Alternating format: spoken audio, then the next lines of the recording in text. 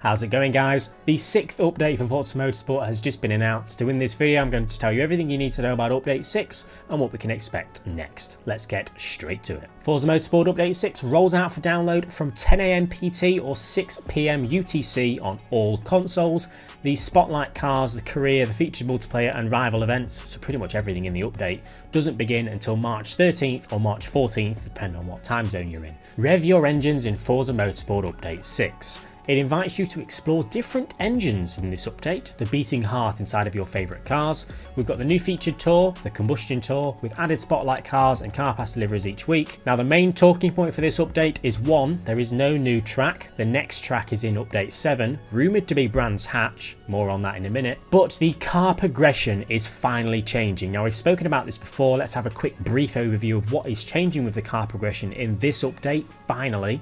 The changes coming to car progression in update 6 will, will you will have the freedom to equip the parts you want to install on your car regardless of car level.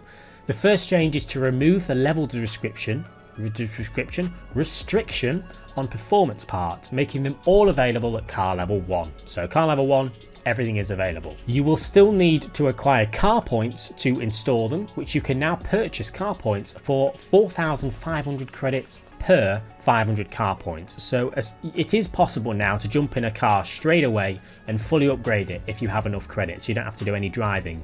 That's kind of the thing that people have been wanting the capability to do.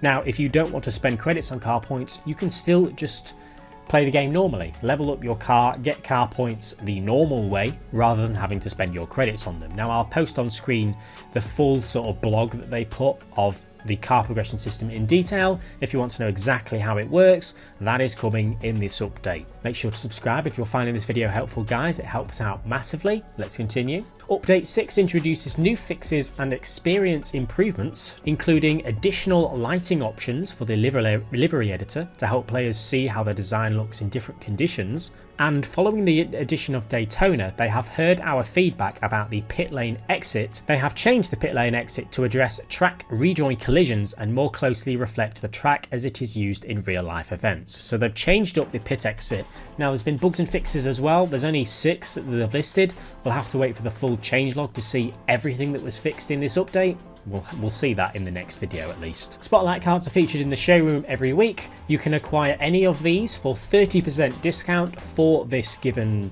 uh, month. You'll see when the discount starts and ends for each car. Now what's interesting is previously every Spotlight car has been a new car to the game. Now if I'm not mistaken, only two of these Spotlight cars are actually new. The Alfa Romeo and the Lamborghini Huracan. The Nissan Skyline GTR R34 and the Dodge Charger, I'm pretty sure are already in the game. Um, so yeah, there's only two new Spotlight cars this month. Now, if you're a VIP member, you'll get 15% discount on the 93 McLaren F1 in the showroom. There you go.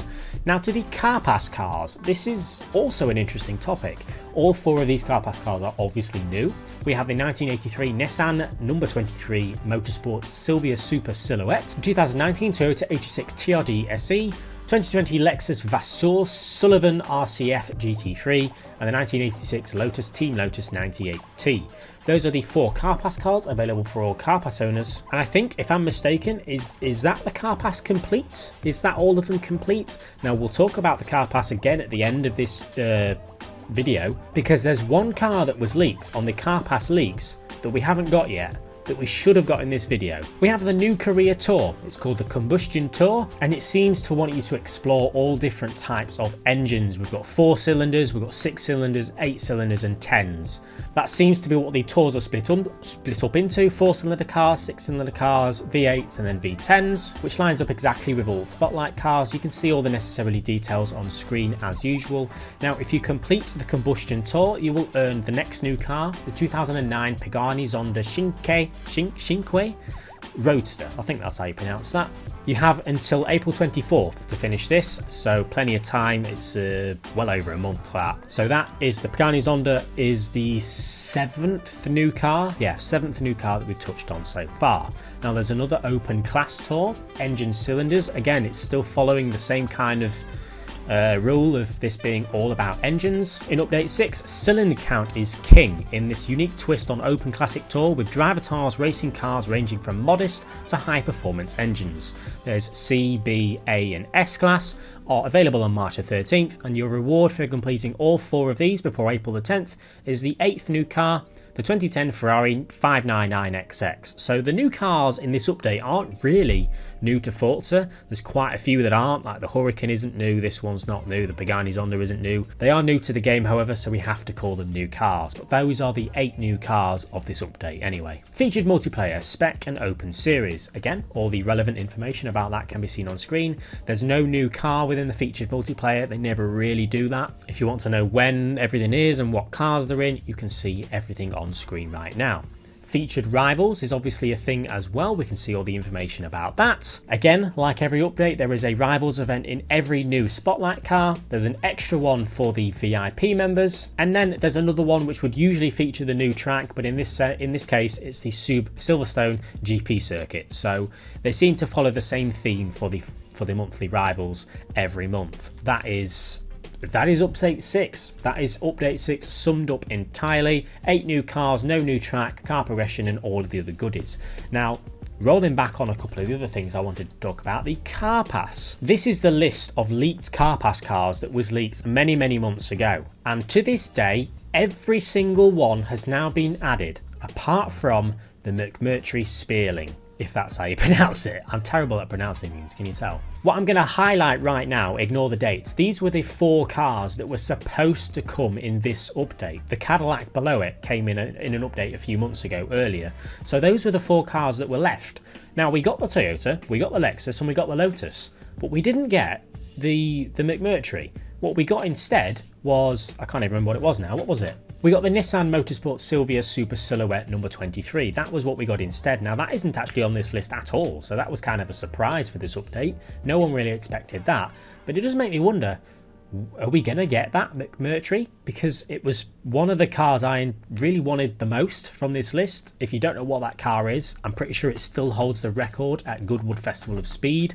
It is an insanely fast car. It's a fan car. It's electric, stupidly quick. It would be awesome to have in Forza Motorsport, but it seems like it might have been replaced. Now, ideally, in an ideal world, this car is still coming in a future update as a free car rather than a car pass car.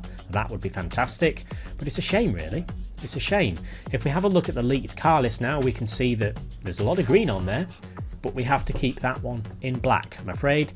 There's still a few other cars on the list, like the MC20 that we still haven't got. When are we ever going to get that? A few Formula Drift cars and some other bits and bobs. So that is what the leaked car list looks like as of today. In terms of Update 7, as I said, we are getting potentially Brands Hatch in that update. We know there is a track in Update 7.